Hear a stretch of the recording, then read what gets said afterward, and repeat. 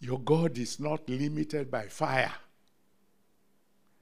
In Daniel chapter 3, from verse 20 to 27, Daniel 3 20 to 27, the Bible tells me that it was the fourth man in the fiery furnace, fire that killed the mighty men had no effect on him. Why? Because he himself is the consuming fire.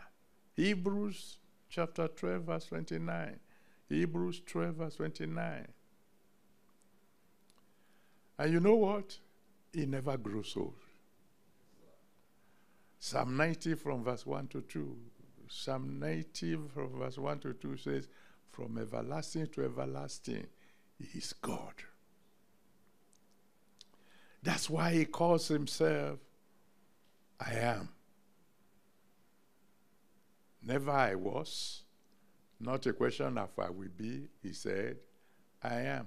Exodus chapter 3, verse 15.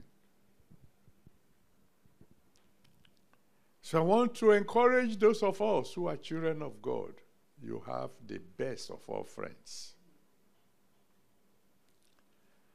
I want to warn those of you who are not his children. He could be the worst of all enemies. An enemy who can never die.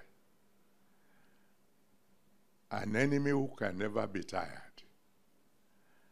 An enemy who neither sleeps nor slumber. Ah, it's a terrible enemy to have. Cross over to his side.